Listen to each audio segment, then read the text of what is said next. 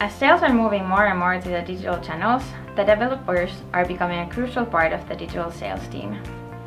Today I'm here to share with you a few points on how a developer with a growth mindset can help grow a business online and how to avoid unnecessary development costs.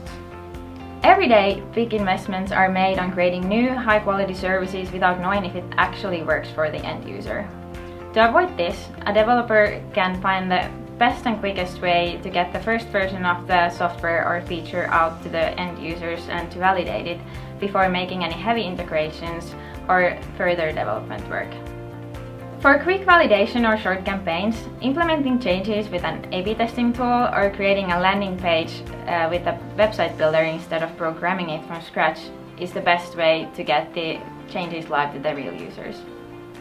Time to market is critical because of the hypothetical money being lost if the new feature, landing page or sales channel is waiting to be launched due to heavy development work. If necessary, further development can then be made once the idea is proven to work.